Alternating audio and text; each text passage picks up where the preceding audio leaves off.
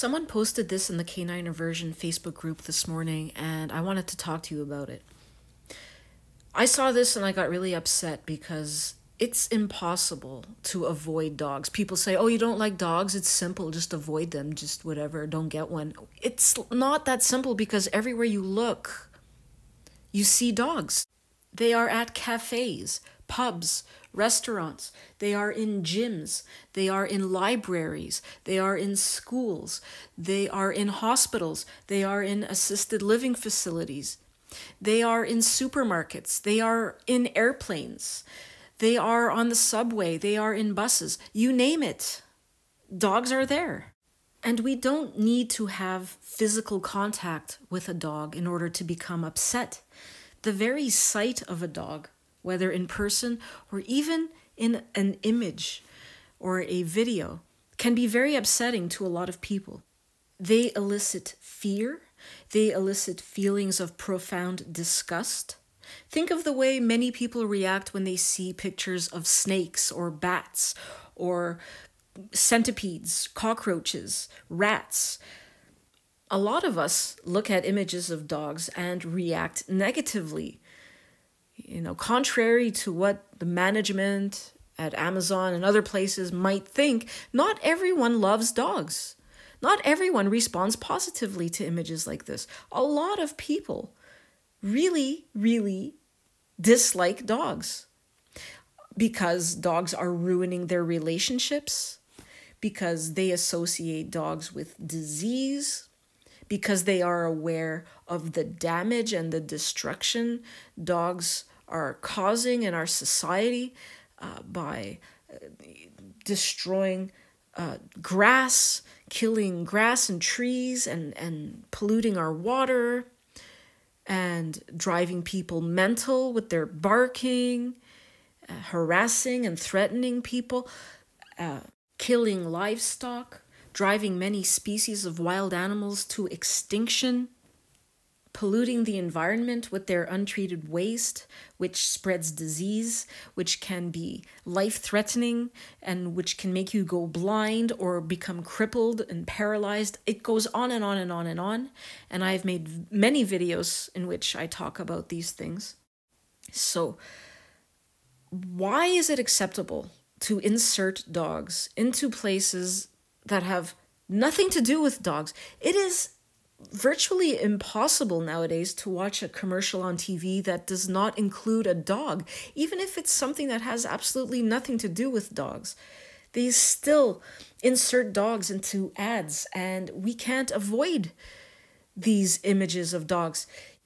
Many people are very offended by these images of dogs, but not just offended. A lot of people have PTSD because of dogs. And these images trigger uh, their PTSD. As I've discussed in many videos, more than 77 people every single day in the United States are undergoing reconstructive surgery because of dog attacks. That is a lot of people who are scarred for life, who are traumatized, who are never going to be able to live a normal life again because their faces have been ripped off. And not just those victims, but their loved ones who have had their lives severely impacted by these dog attacks. They also do not respond positively to images of dogs, and they also, in many cases, suffer from PTSD, especially if they were present during the dog attack. Because of all of these reasons, I think it's inappropriate for Amazon to display this image of a dog when they can't find the page you're looking for. It's unnecessary and it's inappropriate. So I decided I would contact the company. For those who don't know, Amazon is crazy about dogs. This is a company that is run by dog nuts. A lot of dog nuts work there. If you don't know, there are over 7,000 dogs that quote unquote work there. You can find articles like this all over the internet. They are crazy about dogs. It is a company that is full of dog worshippers. So you can just imagine the culture, the unhealthy environment, the lack of empathy for the workers. We're going to get to that later in this video. Uh, as I've discussed a lot on my channel, dog worshippers uh, possess psychopathic characteristics and they are often lacking in empathy for others and uh, are extremely selfish and narcissistic. And so when you have an entire company run by dog worshippers, it makes for a very interesting environment. Anyhow, I decided to contact the company and uh, I went to their website and I had to log into my account in order to contact them. So I logged in, I saw this. I was asked to indicate whether my query was order related or not. So I clicked the button that said not order related. Uh, then I saw this. It asked me to tell them more. I had to make a selection. Uh, I clicked the drop down arrow. I selected other non order topics. Then I had to make another selection by clicking another drop down arrow. Uh, and there I selected give Amazon feedback. And then another drop down arrow appeared, and I was asked to make another selection. Uh, I selected opportunities for improvement, and from there, uh, it showed me this that they said that they would be happy to hear from you and please use one of the options below to contact them. There was only one option at that point, and that was to start a live chat which I did. I wrote, Not everyone likes dogs. Dogs disfigure more than 77 people every day in the USA. So when you display, sorry, couldn't find that page with a picture of a dog named Otto and a message, meet the dogs of Amazon, many people are offended. It is so unnecessary. Why are you shoving dogs down our throats when they drive so many people crazy with their barking? Kill 30 to 50 and bite 4.7 million every year in the USA. They also kill 60,000 worldwide with rabies every year. There is no reason to glorify them and shove them down our throats like this. Like I said, a lot of people hate dogs, so I suggest not displaying an image of something that a large portion of the population finds offensive. At first, someone called Shira appeared online and wrote, How may I assist you? At which point I just repeated what I had already written and they never responded. And eventually, uh, I was disconnected from the chat. So I tried again, did the same thing, and then this guy or person, Sagar, responded and wrote, I'm so sorry to hear about this situation. To be frank, even I don't like dogs. I'm scared of them. Well, I apologize for this situation, and considering the above information, which I was not aware of, I will right now report this issue to our marketing team and we'll also note your feedback to our internal department and we'll ask them to look into this and remove the dog images which are displayed when the item is not on Amazon, as many of us are getting offended and don't like that idea. As many of us are getting offended. So that means I'm not the only one, and he's heard this before. Or, well, he obviously. I'm saying he. Sagar sounds male to me. He feels the same way. So at this point, there was a cross post, and I responded before he had finished uh, writing. I responded to the first couple of lines that he had written, and I had asked him if he could maybe forward my message to someone in management. I asked him that before he indicated that he was going to do that.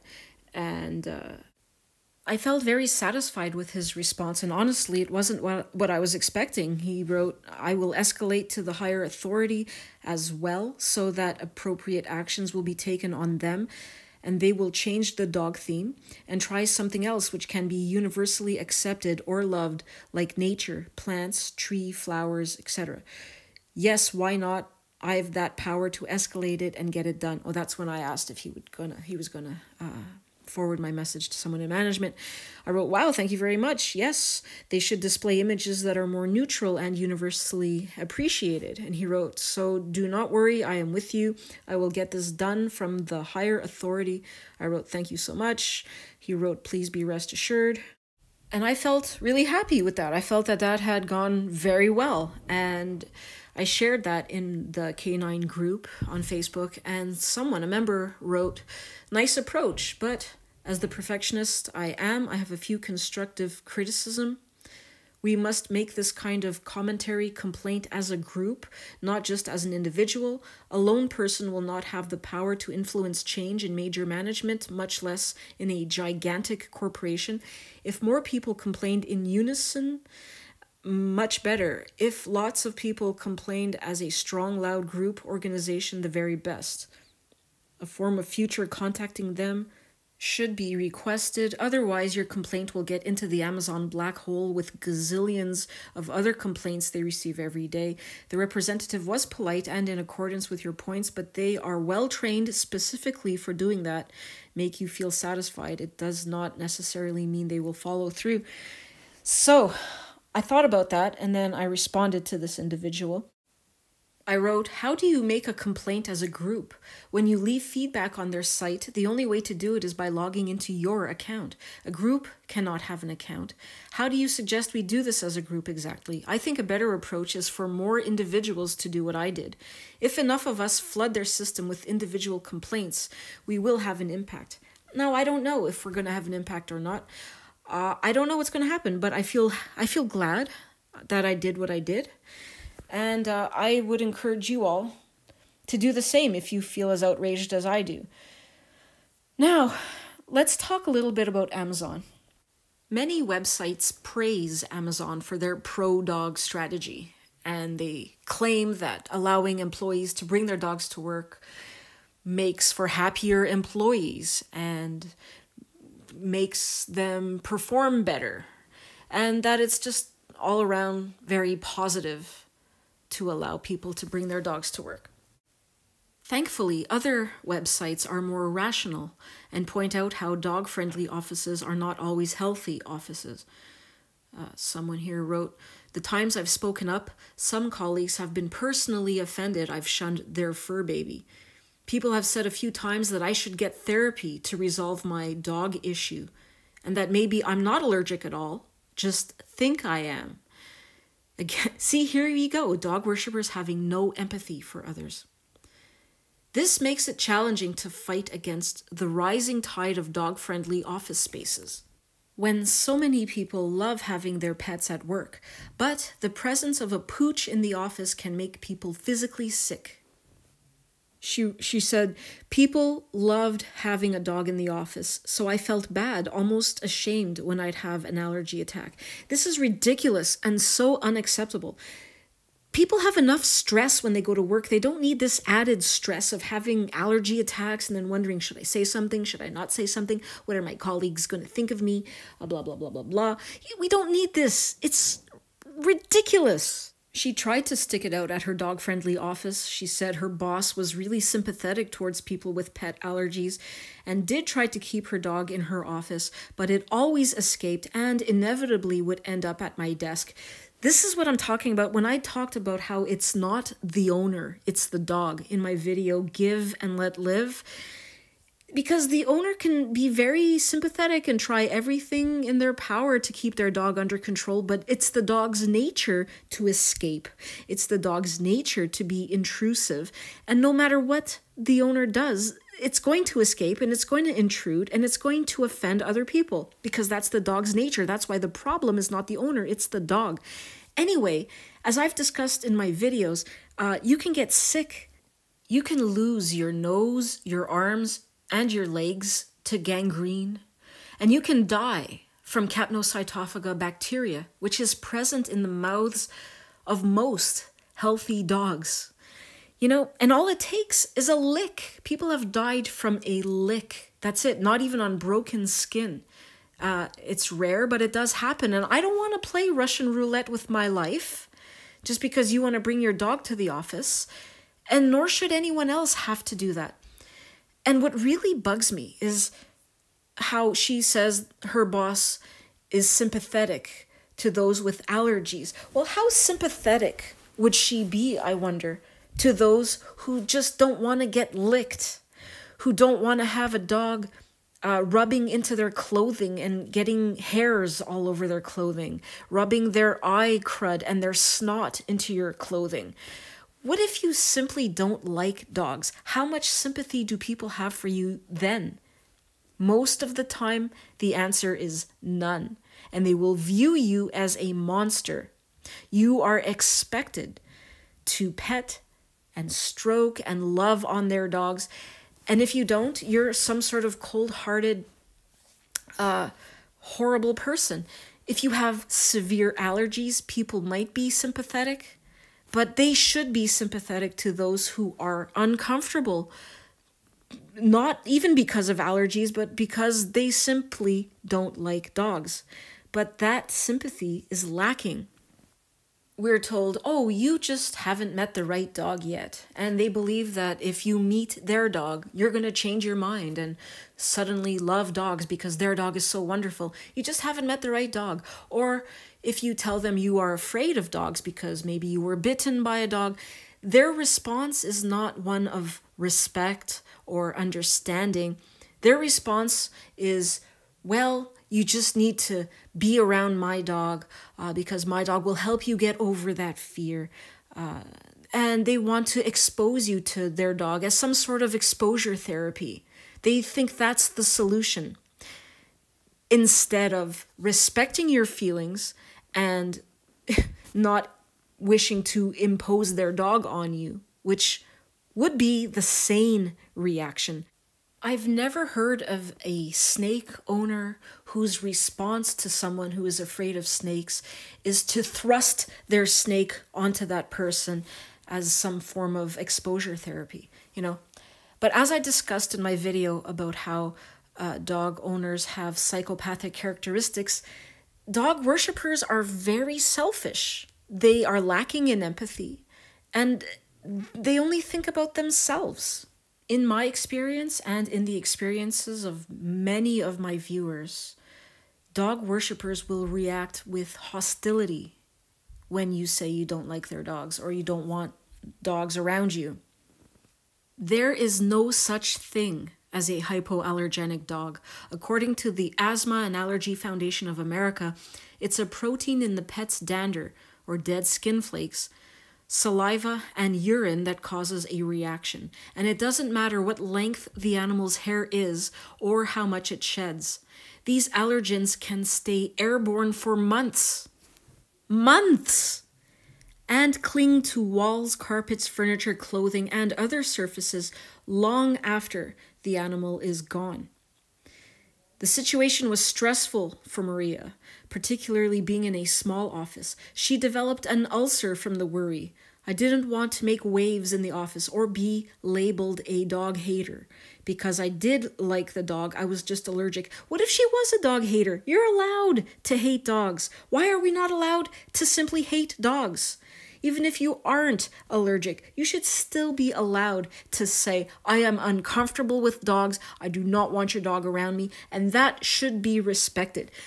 This whole thing about bringing dogs into offices is wrong and it needs to stop. Dog worshippers are so selfish and lacking in empathy. They expect us to purchase and take antihistamines, you know, anti allergy medicines that have side effects. They don't care about us suffering from side effects. All they want to do is bring their dogs to the office. They don't care about anyone but themselves. And to get an ulcer because you're worrying about the dogs at your office, I mean, you have enough stress with your job. You don't need this added stress, like I said. This is so crazy. How do people who work for Amazon really feel. Remember, I was talking about this organization being run by dog worshippers uh, and the culture that ensues when you're dealing with a group of people who are suffering from a mental illness that is as yet unrecognized by the medical community. It will be, mark my words. I found some articles I will share in the description with you. Let's have a closer look at Amazon. So it says here that Amazon employees, most of whom described an intense, often cutthroat workplace where senior managers encourage their reports to attack one another's ideas in meetings. An internal phone directory includes instructions on how to send secret notes about colleagues. Workers suffering from cancer, miscarriages, or other personal issues are penalized or pushed out, as are any employees who don't meet the company's high standards. Many Amazon employees resort to weeping at their desks. So, we're dealing with dog worshippers who, like I said, are lacking in empathy, are very selfish. So, when you look at a, a company where the majority of people working for that company are dog worshippers, you are going to have a culture that is lacking in empathy, a culture that is very selfish, and a, culture that is very sick, which we're about to see here. This is something I read back in 2015. And this was around the time when my feelings about dogs and dog owners were really beginning to change, and I was beginning to see them for what they truly are. This article was very much part of my awakening, I guess you'd say, and I want to share this with you. The link is in the description. She writes about the rigorous hiring process at Amazon, and uh, she she describes, you know, the the all the interviews she had to go through, and how she was told that uh, you know you can bring your dog to work as though that's like something that's really great. She writes, We live in such a dog adoring culture that it's hard to admit when you aren't totally enamored of them. What you are supposed to feel, what you must always feel, is love. And dog owners are blessed with the extraordinary ability to call bullshit. They can sniff out your limp pats, your half hearted game of catch. Soon the question comes Oh, you don't like dogs? Translation How can you not like dogs? How can you not like my dog? When a dying baby's in the street, do you kick it till it fits in the gutter? Perfect description of dog worshippers. Uh, she goes on to write about how when she was nine years old, she was traumatized by her cousin's unneutered dog. The dog sexually assaulted her. Now, for those of you who haven't already seen my video called Dogs and Sexual Harassment Assault, I urge you to watch it. I'm going to talk about something right now that was posted in the Canine Aversion group recently. I'm going to go off topic for just a couple of minutes just to show you what's happening like this is happening all the time and people laugh it off. They think it's funny like it's some kind of joke.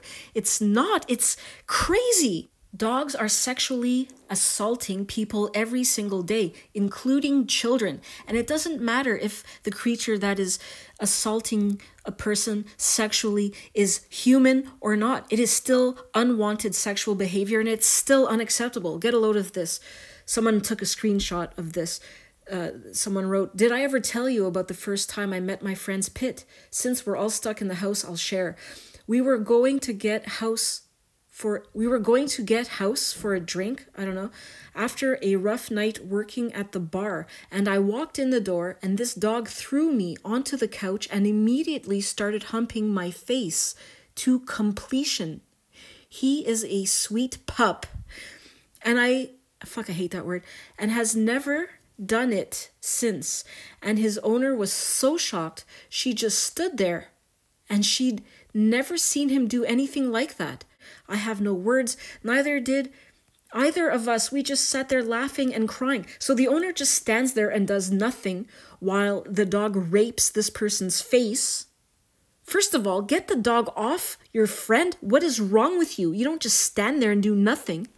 And then to just laugh about it. There's nothing funny about this. So, getting back to this article where this woman describes working for Amazon, she also describes being sexually assaulted when she was around nine by her cousin's German Shepherd. She said her cousin would let it go on too long. Like they always do. Whenever their dogs sexually assault someone, they let it happen and they just stand around and laugh about it and she she was very upset by the whole thing but then she describes how her cousin just made light of it and joked about it and oh when are you coming back to visit? Max misses you. Ha ha ha. Big joke. Would you say the same thing if it was the uncle that humped her uninvited or, or, or the male cousin that came up to her and started humping her against her will? Would they laugh about that too? I honestly wonder because they seriously have no I don't even know. It's like not only a lack of empathy, it's just a lack of decency. It's just so sick. So, anyways, she, you know, ever since never felt comfortable around dogs. Understandably. So she started her job in July, and she knew that the following May they were going to be moving into a luxurious mega compound. All of the employees were going to be working in this new building that was going to be full of dogs. She was worried about that. She was already noticing that many of her colleagues were dog worshippers. She talked about this one colleague. She was feeding her dogs pills so that its urine wouldn't kill the grass. And the author is like, What? There are pills for that? There is a $70 billion per year pet industry behind all of this that is trying to sell us all manner of useless, unnecessary items for our useless, worthless dogs. They're making so much money selling everything from sex toys for dogs to pills that make their urine less harmful for the grass. It's ridiculous how much money they're making off us. That is why we are being brainwashed through repetitive slogans, advertising to believe dogs are wonderful. Everyone's walking around like a bunch of hypnotized, sleepwalking zombies or something. Uh, because there's so much money being made. This is a huge industry. And our minds are being controlled. We are being deceived and manipulated by it. Anyway, she was encouraged by an email sent out by the department head, Scott Reynolds, who asked Can each of you reply back to me if A, you have allergies to dogs and to what degree? For example, can't be on the same floor or just can't pet them.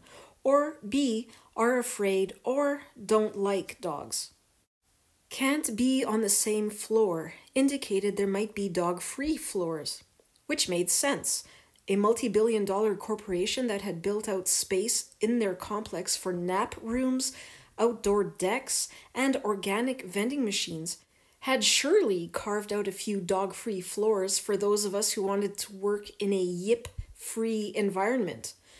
I speedily typed back my response. I'm allergic to dog hair, can't be around furniture or whatever for very long that dogs have been on. Scott asked, So, if someone had a dog in their office or at their desk, would that create problems? She replied, I am allergic, but to be honest, I don't really love the idea of working around dogs. I would like to be on a dog free floor, if that's okay. Scott never emailed back, which she took as a sign that things were being taken care of. Two months before they were supposed to move, she emailed Scott's assistant to ensure that her space on the new dog free floor was secured. The assistant replied that Scott had never said anything to her.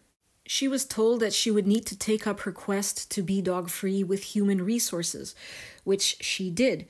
Deb, the human resources representative, handed her a form uh, that she would need to have filled out by her doctor. And so she had a look at the form and saw that the first question read If your patient is limited in his or her ability to work in an environment in which dogs are present, is it safe for him or her to be in such an environment for a limited period of time? If yes, please state the maximum amount of time that your patient may safely work continuously in such an environment. Well, she could see that they were going to make things very hard for her. Please fully describe the extent to which your patient would be limited from working in an office environment in which dogs are present. Please include a description of the symptoms or consequences that your patient will experience if he or she works in such an environment. Attach additional pages if necessary. Can these limitations be fully or partially migrated or offset with appropriate medication? There we go with the medication again, right? Is your patient able to work in a building where dogs are generally blah, blah, blah, blah, blah? All of these questions. She got this ridiculous form filled out by her allergist's assistant, who recommended she work on a dog free floor. Soon after she returned the form, Deb called her back into her office. Can you go back to your allergist? We need them to fill out more of this form. She limply handed the paper back to her like it was a half completed test. Sorry, what things? she asked. Well, we just need her to elaborate on and clarify some of these points, she said. It was ridiculous. They made things very difficult for her, and why? She said to Deb, You know, I don't see why an allergy should make a difference. I think if you don't want to work around dogs, that should be enough. Well, Deb stared at her and blinked. I am sure Deb thought, What kind of person doesn't like dogs? What sort of monster are you? She asked Deb, Are there dog free floors? And she was told that they do make special accommodations for the severely allergic, stressing the word severely. So, in the end, she was granted her request for a dog free room. There are no dog free floors at Amazon, but she did get an office. She was assigned a very crappy office, the only windowless office on her floor, which she had to share with four other people. Clearly, this is discrimination. Then she describes the extremely weird dog culture she was immersed in. She was describing images she was receiving in an email of people's dogs dressed up in Halloween costumes and invited to bring her dog to work and dress their dogs up in Halloween costumes for Halloween. And not only is dog culture extremely bizarre, but it is dangerous, and she describes that here. During a fire drill, she writes, I waited for one girl in front of me to walk her dog down 12 flights of stairs instead of just picking it up. She dragged it down by the leash, then picked it up, then set it down, then picked it up again. If this had been a real fire, we would have burnt to a crisp. you know, that's ridiculous. How is that allowed in an office building? I can't understand.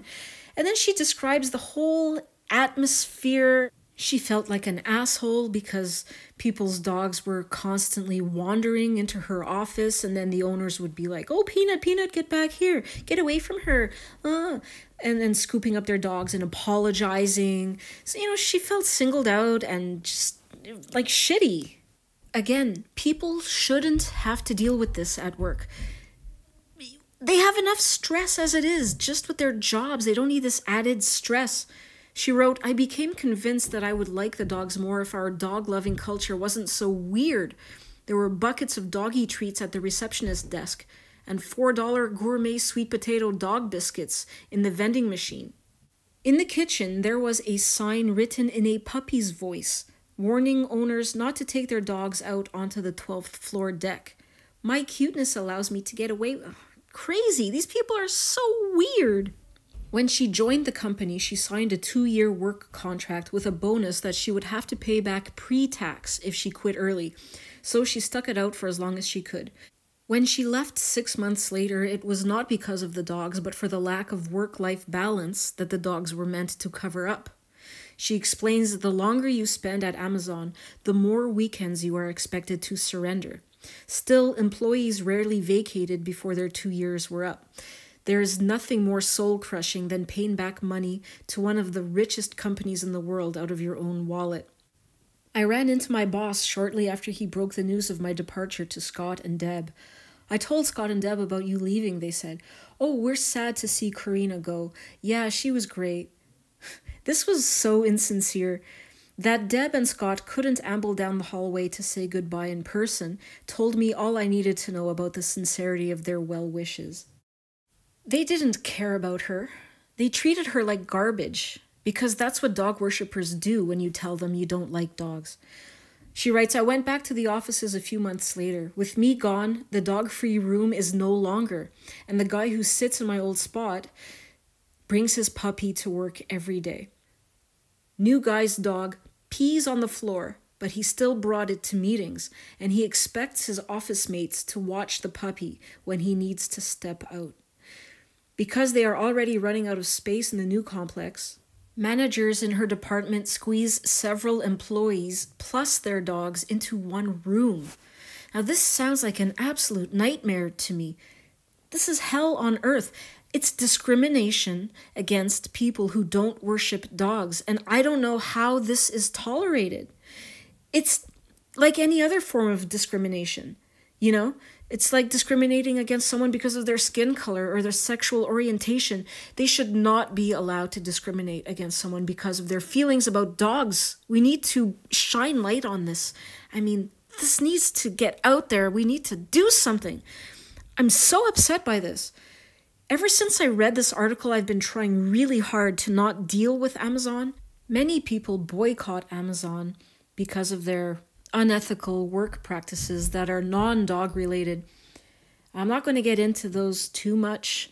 I'll put some links in the description for you to read, but Amazon employees have to pee into bottles because they are not allowed to take bathroom breaks. Workers at Amazon in Poland uh, are treated like absolute garbage. Many jobs involve highly repetitive movements, lifting heavy goods and boxes, pushing heavy carts. Uh, the, warehouses are running day and night, and the workers have to work these crazy shifts that are very unhealthy. And the continuous stress, noise, physical exhaustion, and lack of time to rest between shifts, yeah, it affects their health. And uh, so there's a high sickness rate, and going on sick leave is, like they explain here, for workers, going on sick leave is a way to get rest and repair their health, but for Amazon, it is a cost factor. To bring down the sickness rate, Amazon Poland hired a company in spring 2017 which checks whether workers are at home during sick leave. A worker who was dismissed because of a sick leave wrote At Amazon, we hear about safety every day, about health. But the reality is different. Not everyone can keep up the race at Amazon. People are treated like machines, but even machines fail and stand still. We are not allowed to do that. Reddit Dog Free also has an entire thread about Amazon, which I'll link you to. Just ridiculous. Look at this image for the elevator, they include a dog. It's just so crazy. We're dealing with a very, very sick company, and the dog worship is a symptom of an underlying sickness within the company, just like dog worship is a symptom of an underlying sickness in society. Here's the bottom line. Of course, it's true that an Amazon boycott very likely won't accomplish much. The company is so vast and has become so ingrained in our culture that it's nigh impossible for a critical enough mass to make a real dent. Still, decoupling your relationship with Amazon any way possible helps you, at the very least, become a more conscious consumer. Amazon's business imperative is to make everything frictionless and easy. It wants there to be no choice but the cheap Amazon products right in front of you with the click of a button. It wants all consumption to be powered by its own engines. Put together, there is a growing movement to quell Amazon's recalcitrant growth. It may seem like an unwinnable battle, but if Amazon's size concerns you, the only way to go forward in the coming year is to be both informed and intentional. And those are two words that go against Amazon's business strategy. Take care, everyone, and I'll see you next time.